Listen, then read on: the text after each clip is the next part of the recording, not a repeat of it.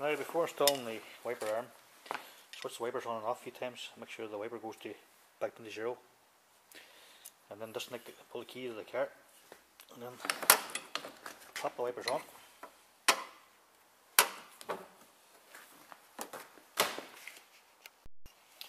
Make sure you put in the washer. And then position the wiper, which should be about there. And hold it.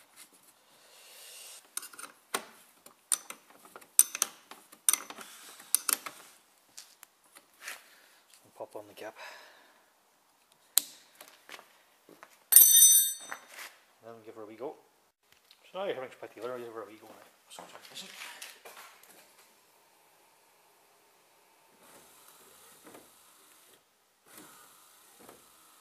There you go.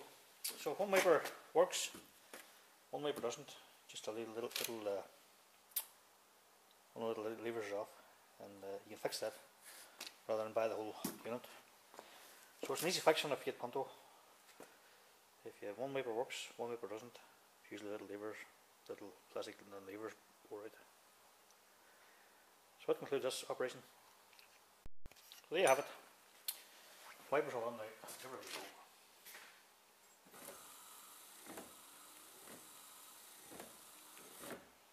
So, if one wiper works, one wiper doesn't, three levers off, and it's an easy enough fix.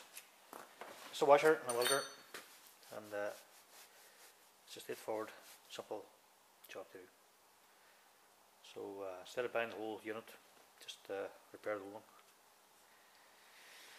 So now we'll on the hood and the window washer pipe, and that concludes our Fiat Punto wiper repair.